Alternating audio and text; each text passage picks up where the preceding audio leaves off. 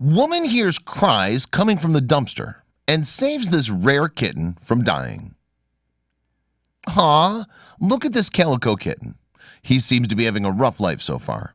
His name is Martyr. Martyr was found in a dumpster by a woman. His eyes were still closed and he was crying for his mom. Before he'd reached the age of one week, he had a broken leg and a bad paw. The kind woman took the tiny calico boy home and began to feed him. The tiny kitten soon got stronger and gained weight. Being a calico male is a rare thing. Calico males are 1 in 3,000, or 0.03% of the calico cat population. Because he's a calico, Martyr is sterile.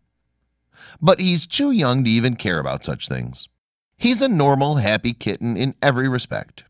Even though the woman that found Martyr has rescued many animals, there is something special about Martyr. She wasn't going to let him go. Fast forward four months. Martyr is quite a bit bigger now and is a happy boy. He loves to sit on his human shoulders. I wouldn't be able to part with any animal I rescued. In fact, the two cats I found wandering outside have never left my house. I found them both outside in the yard, and to this day, neither one has any interest in going back outside. I did try to find their owners, but there was never a doubt in my mind that once they came into my life, it would be hard to let them go. Share away, people.